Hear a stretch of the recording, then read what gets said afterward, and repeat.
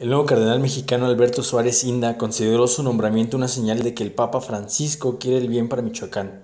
Ya lo decía yo, ya lo decía yo, yo creo que el Papa Francisco está preocupado por Michoacán, pero no angustiado, sino esperanzado, como todos nosotros debemos estar. En rueda de prensa le pidieron al cardenal Suárez Inda su opinión sobre el reciente auto de formal prisión a Hipólito Mora. Consideró que los jueces y magistrados tienen una gran responsabilidad de proceder conforme a derecho.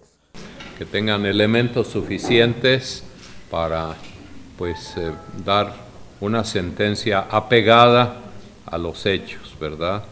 Sabemos que hay mucha confusión, que bueno, cuando uno visita los penales, pues se encuentra, por lo menos así lo oye uno decir, que todos son inocentes, pero pues sin duda que se necesitan pruebas. Por otra parte, dijo que todo ciudadano, incluyendo los hombres de fe, tienen una gran deuda con la sociedad.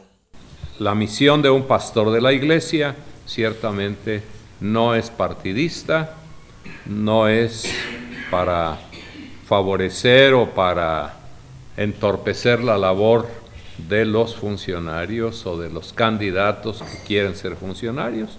Yo creo que nuestra labor está en otro plano Agregó que se tiene que cambiar la imagen de Michoacán ante el mundo y que espera que esta señal del Papa para Michoacán sea para bien.